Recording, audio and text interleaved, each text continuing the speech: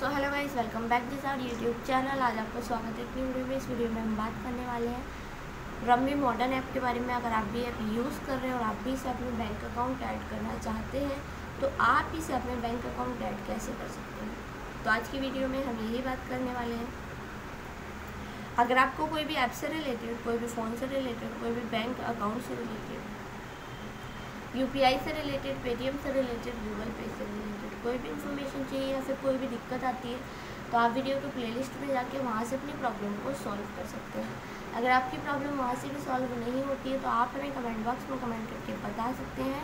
हम आपकी प्रॉब्लम को ज़रूर सॉल्व करेंगे। चलिएगा इस वीडियो करते हैं स्टार्ट सबसे पहले जो है आपको ऐप को कर लेना है ओपन ऐप को अब ओपन करेंगे, आपको इस टाइप से इंटरफेस देखने को मिलेगा। यहाँ पर जो आपको बहुत सारे ऑप्शन देखने को मिल जाएँगे। इनमें से जो है यहाँ पे आपको विड्रॉ का ऑप्शन मिलेगा। विड्रॉ का ऑप्शन पर करना है क्लिक क्लिक करेंगे आपको स्टेप से इंटरफेस देखने को मिलेगा।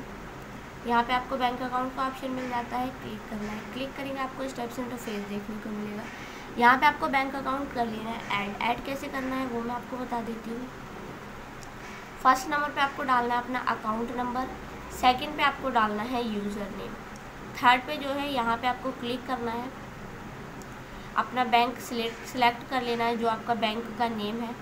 सिलेक्ट करने के बाद में फोर्थ पे आपको डालना है आईएफसी कोड फिफ्थ पे आपको डालना है अपना ईमेल एड्रेस सेव पर करना है क्लिक सेव पर आप क्लिक करेंगे, जो आपका बैंक अकाउंट है, वो जाएगा ऐड तो इसी तरीके से आप बैंक अकाउंट को ऐड कर सकते हैं। वीडियो अच्छी लगी तो चैनल को सब्सक्राइब वीडियो को लाइक शेयर ज़रूर कर दें।